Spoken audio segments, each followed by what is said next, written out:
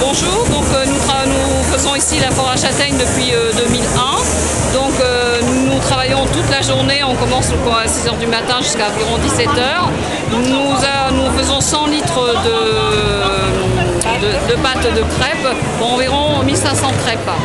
C'est ce qui nous donne 1500 crêpes environ pour la journée à vendre euh, sur la foire. Voilà. Donc, euh, pardon? Alors l'équipe de crêpes,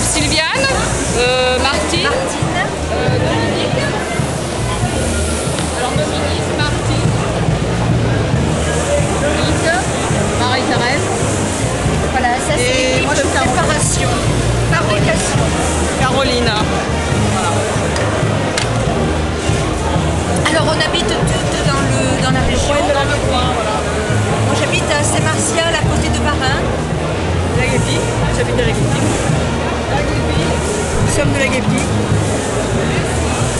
Et moi je suis la secrétaire d'association depuis 14 ans. La particularité de ces crêpes, Alors elles font deux tiers de farine de blé, un tiers de farine de châtaigne.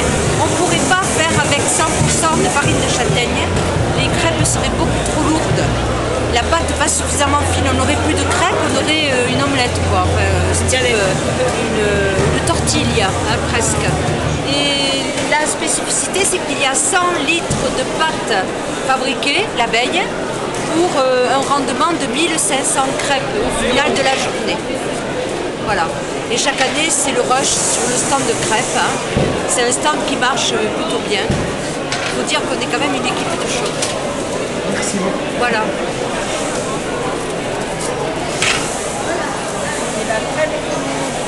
Ils ont une crème artisanale. Artisanale, Et vendue, conçue sur le stand de produits ouais. chez Madame Danielé.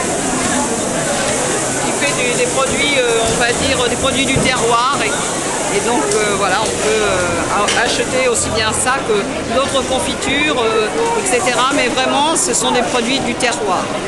Voilà. Et bio pour certains.